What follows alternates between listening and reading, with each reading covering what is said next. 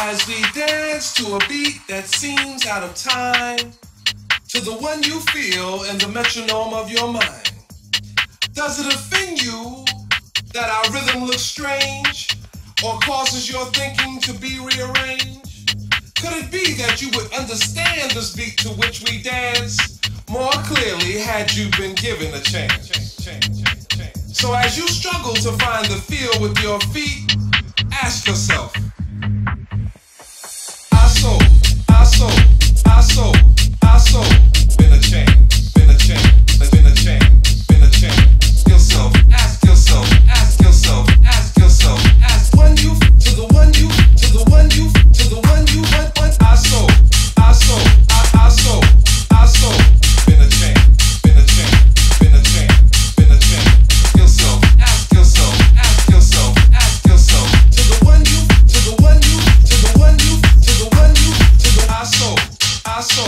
I soul, I soul.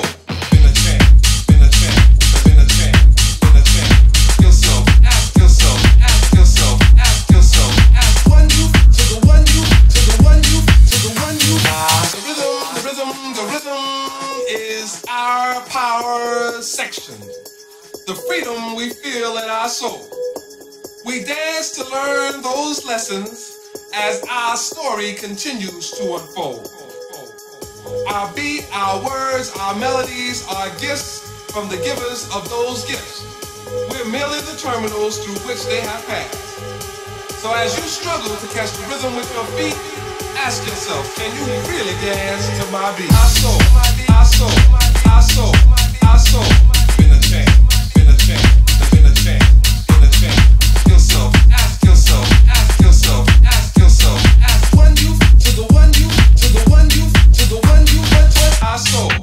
I soul, I soul, I soul. Been a chain, been a chain, been a chain, been a chain. Ask yourself, ask yourself, ask yourself. Ask one you to the one you to the one you to the one you. I soul,